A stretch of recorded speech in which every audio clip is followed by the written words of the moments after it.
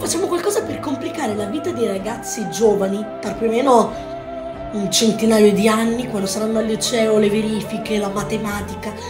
Cioè, ragazzi, è troppo facile, dobbiamo complicarla. Allora, però, dobbiamo fare tipo